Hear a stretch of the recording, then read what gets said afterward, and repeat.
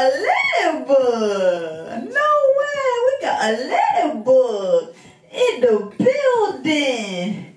In the building. She is in here. Oh, that means something. Oh, that means something. I know y'all know what that spiritual ladybug means. Y'all know what it is. Tap in. If you don't know, tap in. You know, you gotta Google that. Because that's some spiritual alignment right there. Because we inside the studio. And the ladybug is just on the ring light. How they work? We gonna keep that keep that rolling.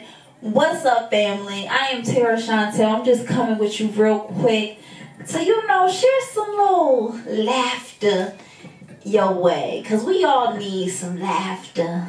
We all need some fun. And you know, I am personally a fan of comedy. I'm getting started in the comedic stand up realm. So, you know, this is going to be like my first of many jokes. But of course, I got to just keep it real with you real quick because they always thinking they know who I am when I tell you who I am. Because I tell you, you know, I am a child free black liberated woman out here, black and I'm proud, baby. And they always then go by saying, oh, you're going to have kids one day. And I'm like, did you not just hear what I said? Did that just go over your head? Because you want to hear what you want to hear. Because, you know, we got selective hearing up, up in here. But I always get this. I always get that I'm going to change my mind. Like, how dare you not want to have kids? Like, the audacity. And I'm thinking in my head, like, I came in this world alone, child free.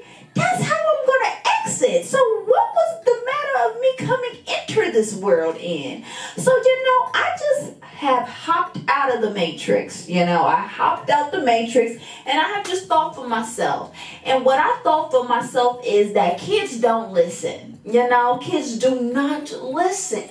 So you mean to tell me I have to deal with that because they stopped listening at the age of two. Okay, you got them till they about two, and then they gonna do whatever they want to do at that point. Cause I don't listen.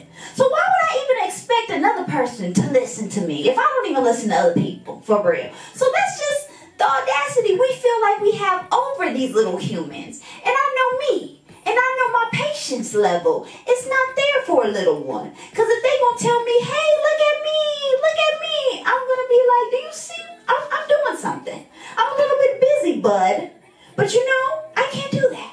Because you gotta be gentle. And you gotta be soft. And you gotta sugarcoat everything. And I'm too gangster for these streets. I'm too gangster for the kids. But we gotta really understand that the kids don't listen. You know, we try to say they hard headed, but they shouldn't really listen to us anyway, because we just bigger kids. We don't really got it going on. We don't really know what we're doing for real. All we did was just have sex. And the kid just ended up here. So ain't nothing really special about having a kid, but we just over glamorize it in the society of like, oh, what did you All you did, all you did was have sex.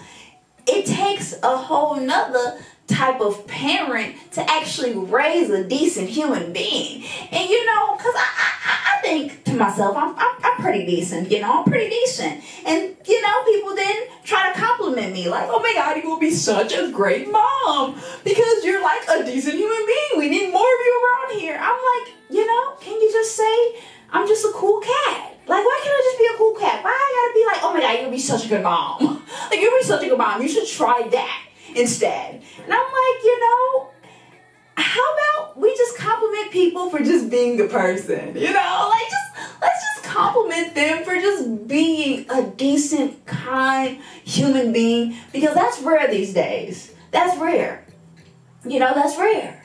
And I gotta just, you know, I gotta just close this off one more. You know, because I just posted on TikTok about how I'm just observing this generation. You know, I'm I'm very spooked out because this dating game is ruthless out here. I'm single and I'm like, oh my goodness.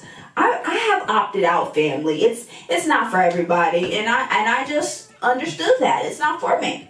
So this brother left a compliment. Uh, oh, he I guess he called this a compliment. He left a comment, and the comment said, oh, you're so observant. You're to be such a great wife one day.